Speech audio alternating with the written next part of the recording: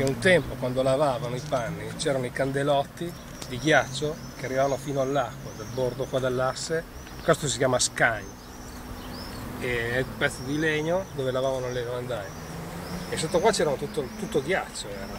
qui sotto la riva, e dietro avevano il fuoco, un bidone di ferro dove il marito portava giù i braccieri accesi per far scaldare le mani ogni tanto la, la moglie che gli toccava fare questa vitaccia qua aperte alla bene, alla bene meglio chi aveva già questo era già una fortunata aveva lo stivale e basta nell'acqua. Che questo pro proteggeva dall'acqua quindi sì, un po' ti, ti alzava, un po', alzava un po' vacca boia quindi ti teneva l'umidità lontano. Tanto di cappello ragazzi.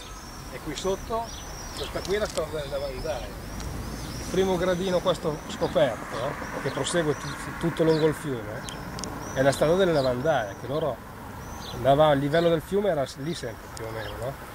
e ora da lì in alto avevano questo gradino un po' più ampio dove si appoggiava tutta la roba e ci camminavano sopra fino in fondo. Qui era tutte lavandaie una fila, un'autostrada di lavandaie. Via. Così è la vita e adesso ci sono delle bottiglie di birra vuote. E le lavandaie? E le lavandaie ci sono più. Girano le macchinette. Eh. eh beh.